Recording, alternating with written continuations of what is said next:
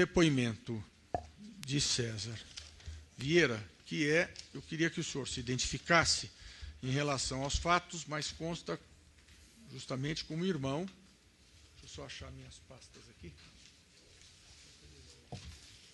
De Maria Terezinha Barros Vieira, que foi justamente a, a, a moça, né, a época que, com 16 anos, eh, foi gravemente ferida naquele eh, fatídico dia. Eu queria, o senhor esteve presente no depoimento, o senhor ouviu o depoimento do doutor Jacó Lopes de Castro Máximo, nós demos a ele a oportunidade de prestar o depoimento, à luz até do que foi informado por ele, eu queria então que o senhor fizesse o seu depoimento. Muito obrigado por essa oportunidade que, que eu recebo da comissão. É, eu tive, inclusive, o desejo de pedir uma parte e, e expressar uma opinião diferente do que, foi apresentado aqui pelo Javer, pelo Jacó, perdão, mas é, com a chance que vocês estão me dando, eu gostaria de explicar. Eu era estudante da medicina da Universidade Federal de Minas Gerais, era da equipe do Show Medicina, eu estava lá no, no, no Instituto de Educação naquele espetáculo, é, e sou irmão da Terezinha, sou irmão da, da, da fui colega do Cláudio que estava sentado junto dela e era namorado da Heloísa, que hoje é minha esposa, que também estava sentado junto a ela no show Medicina. Assim como era, sou irmão do Paulo César, um colega de vocês, advogado, que estava também no show com algumas primas e alguns amigos, e tinha uma tia e a mãe da minha namorada que estavam lá. Então tinha uma equipe grande da família que esteve lá e que viu e participou e presenciou todas essas coisas.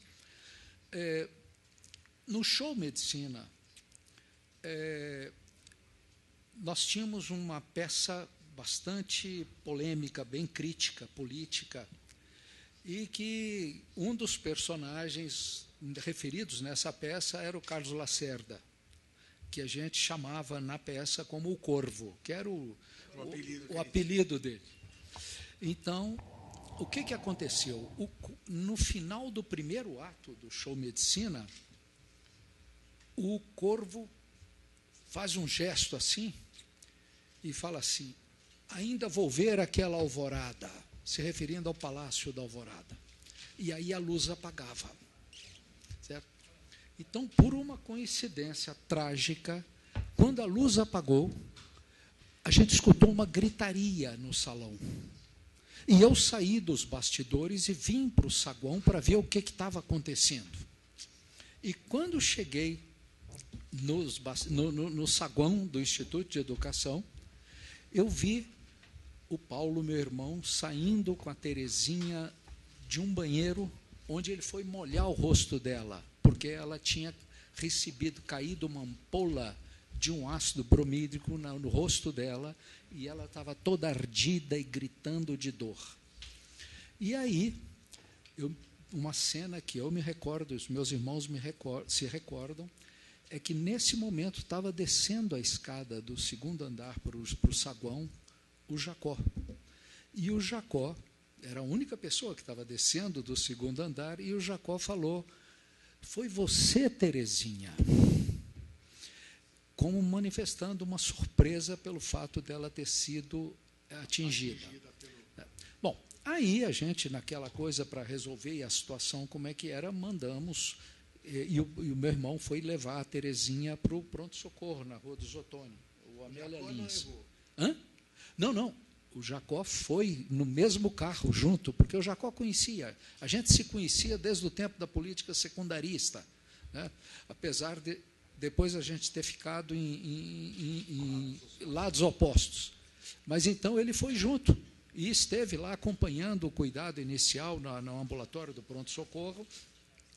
E depois, segundo o meu irmão me informou, ele se queixou de uma dor na perna e tal, e saiu e deixou o hospital. Mas, de qualquer maneira, é, os, os meus irmãos, refazendo a história e relembrando a história, eles fizeram, é, eles viram que, que eles tinham tentado primeiro sentar no, no, no, no andar de cima, mas depois souberam que tinha cadeiras vagas no primeiro andar, então eles desceram. Mas enquanto eles estavam lá em cima, eles viram não só o Jacó, como alguns outros colegas e conhecidos nossos que pertenciam a grupos de direita, entende? que estavam lá em cima. E aquilo até chamou a atenção deles, porque o show Medicina é, era um show muito político, muito politizado. Então, o que estava fazendo aquele pessoal lá? Bom, a gente, é, ela foi, ela foi internada no hospital, no pronto socorro, depois foi passada para um outro hospital aqui, o Felício Roxo, e ela passou muito tempo com uma queimadura no rosto a, e, e, afetou, que afetou a, a, os olhos. Né? Ela tem até hoje uma lesão nos olhos que dá trabalho, que dá, que, que exige cuidados especiais e ela tem sempre um cuidado de oftalmologista para esse assunto.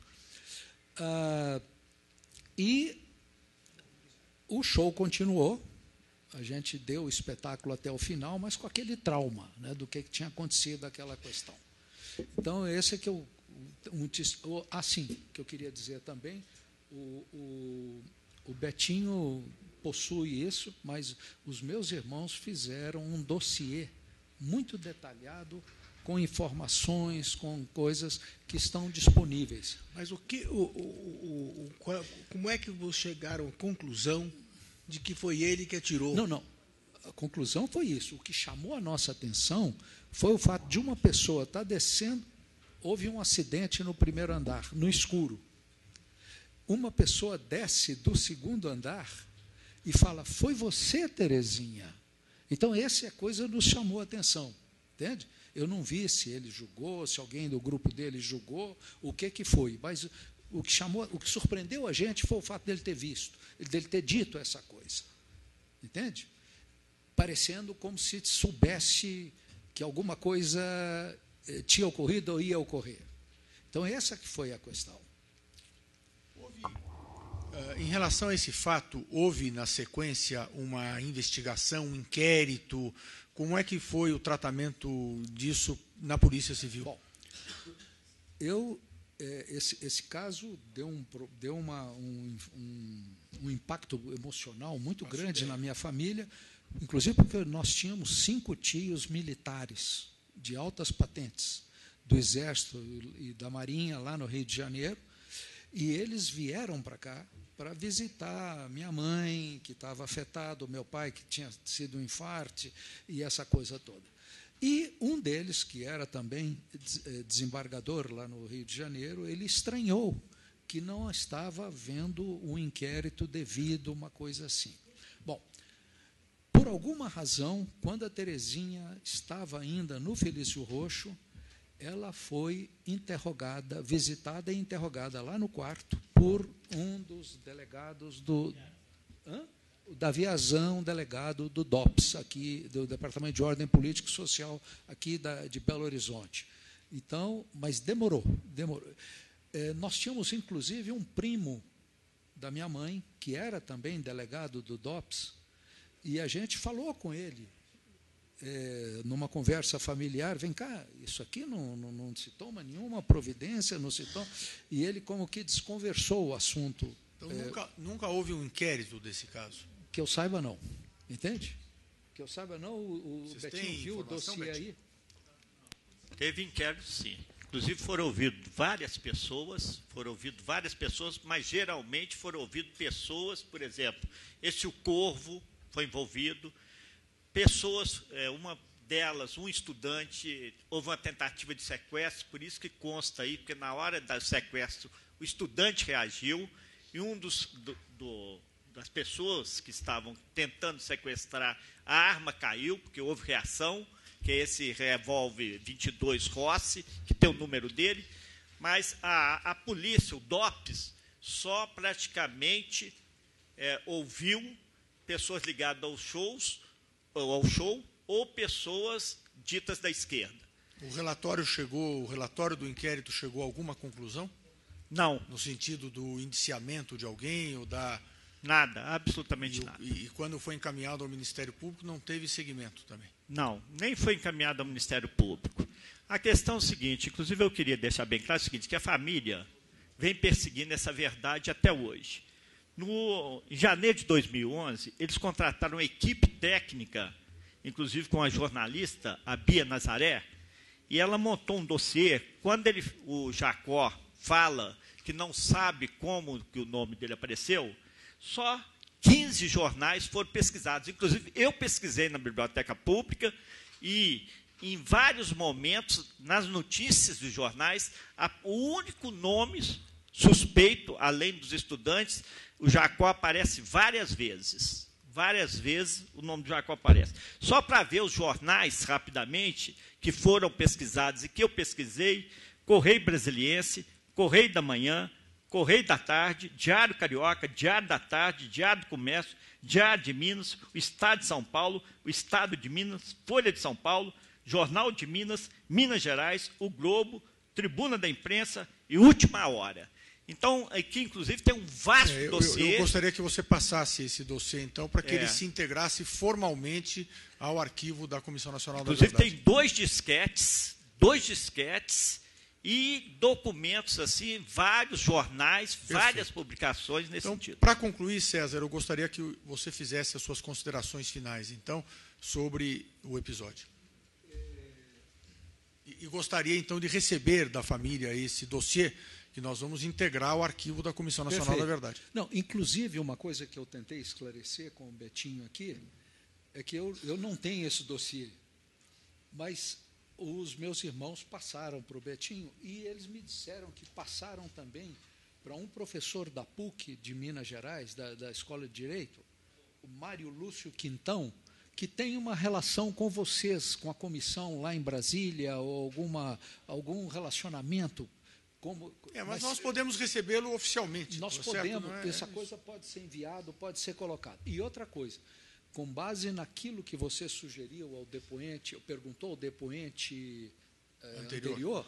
se vocês quiserem, nós podemos visitar o Instituto de Educação com a comissão e fazer. Não, uma- seria muito importante, eu acho que a Comissão da Verdade aqui de Minas Gerais pode fazer levantar isso aí, fazer esse, esse croquis Fazer uma reconstituição e lá. mandar para nós. Quanto mais, mesmo que na Comissão Nacional Ah, sim, e outra coisa. E a minha irmã, ela está super interessada nesse assunto, super interessada. Então, ela pode prestar um depoimento, nós temos tomado o depoimento, mesmo a Comissão da Verdade de Minas Gerais pode fazer, por via de teleconferência ou mesmo Skype, isso fica registrado.